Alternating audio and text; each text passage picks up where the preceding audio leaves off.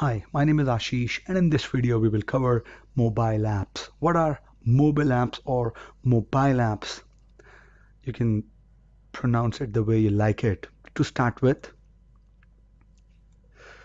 Azure App Service is a fully managed platform as a service. It's a PaaS model. The service brings a rich set of capabilities to web, mobile and integration scenarios. The mobile app features of Azure App Service gives enterprise developers a system integrators a mobile application development platform that's highly scalable and globally available. If you would see the architecture on the left hand side, the picture shows you that you can store data in the cloud and sync it through SQL, table storage, blob storage, or MongoDB. You can have the user authentication via Facebook, Twitter, Microsoft, Google Active Directory. You can have send the push notifications to the Windows, Apple's GCM or notification hub. You can use REST APIs to integrate to Windows Store, iOS, Android, Windows Phone, HTML5, and so on and so forth. Why should we use Azure mobile apps? You can bring native, build native and cross-platform apps.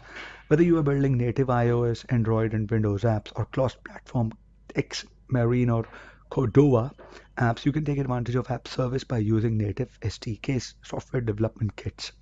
You can connect to your enterprise systems. With the mobile app features, you can add corporate sign-in in minutes and connect to your enterprise or on-premises or the other cloud resources. You can build offline ready apps with data sync. You can make your mobile workforce more productive by building apps that work offline and use mobile apps to sync data in the background when connectivity is present with any of the enterprise data source or software as a service APIs.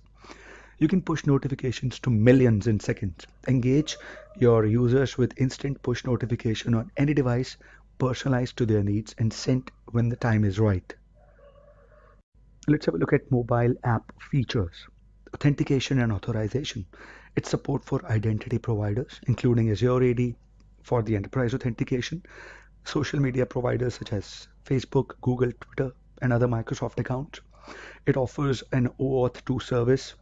You can also integrate the SDK for the identity provider for provider specific functionality. Now come to data access. Mobile apps provides a mobile friendly OData v3 data source that's linked to the Azure SQL database or to the on-prem SQL server it can be used on Entity Framework. You can easily integrate with other NoSQL and SQL data providers, which includes Table Storage, MongoDB, Cosmos DB, and other SaaS API providers such as Office 365 and Salesforce.com. Offline sync. The client SDKs it's easy to build robust and responsive mobile applications because you can sync this dataset automatically with the backend data, including conflict resolution support when you are online and you can make the changes when you're offline as discussed about push notifications the client SDKs integrate seamlessly with the registration capabilities of Azure Hub so that we can send notifications to millions of users simultaneously.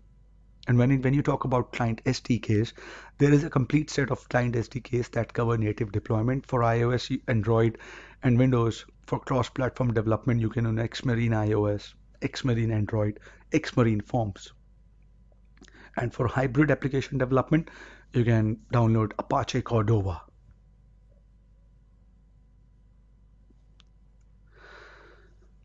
Now we have a look at Azure App Service features. When it comes to App Service, we are, we are talking in general to the Azure App Service provider, which includes your mobile app, API app, logic apps, web apps.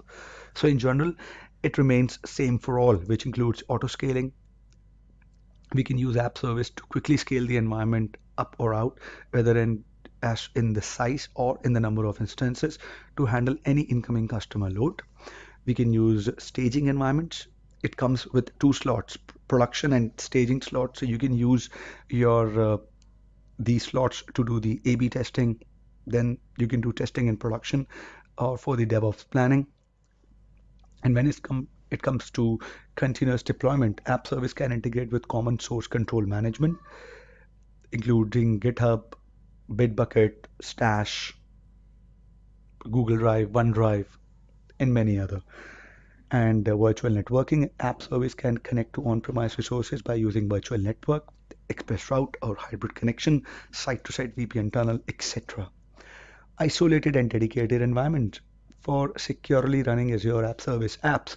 We can run app service in a fully isolated and dedicated environment.